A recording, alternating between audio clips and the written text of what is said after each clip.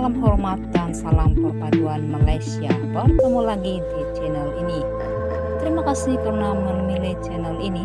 Jangan lupa like and share dan tekan subscribe serta tombol lonceng untuk mendapatkan info terkini hanya di Sian Channel.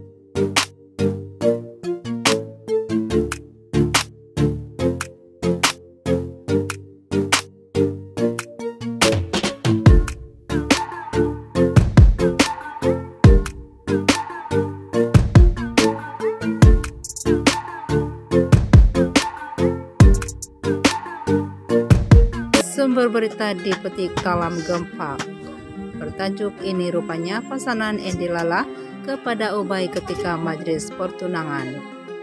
Personality media sosial Ubay mendadakan yang ramai bertanya kepadanya mengenai kehadiran Datuk Endi Lala sewaktu majlis pertunangan dia dan Sela Amza pada Sabtu lalu. Menurut Ubay itu bukanlah kali pertama bertemu dengan ayah tunangnya Sela, malah dia pernah bertemu dengan Endelala beberapa kali sebelum ini. Ketika majlis itu peran saya panggilan Sela sama ad ada dan semua juga tanya tentang ayah Sela. Kepada saya sebenarnya saya dah jumpa Datuk Endelala dah lama sejak sebelum bertunang lagi masa itu ketika arwah nenek sah meninggal. Masa itu dah borak dengan ayah sah jadi tak ada pun normal sahaja. Seorang ayah datang ke majlis anaknya. Mereka anak beranak oke. Okay.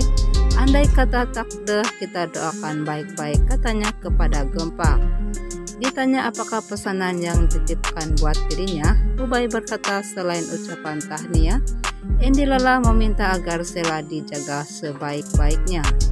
Dia ucapkan tahniah kepada saya dan juga pesan supaya jaga sah dan mendoakan apa yang kami rancang berjalan dengan lancar katanya lagi.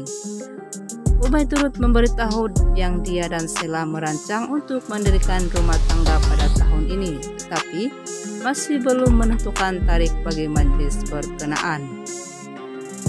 Kami merancang untuk mendirikan rumah tangga pada tahun ini, tetapi bergantung juga dengan kesehatan ibu saya yang sedang menjalani kemoterapi bagi penyakit kansernya. Sebelum tunang hari itu pun banyak dugaan. Adik meninggal saya jalani pembedahan jadi tarik nikah itu belum confirm lagi kalau ada saya akan umumkan katanya. Sekian info hari ini dari Gempak.